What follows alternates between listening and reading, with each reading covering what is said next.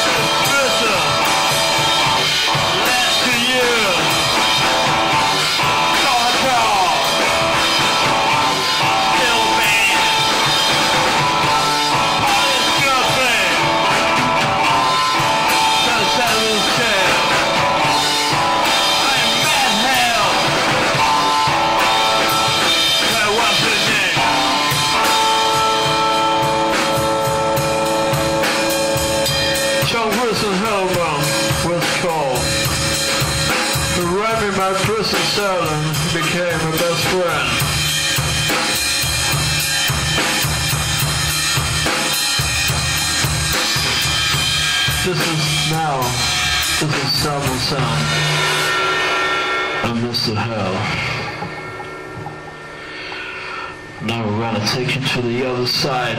So come with us.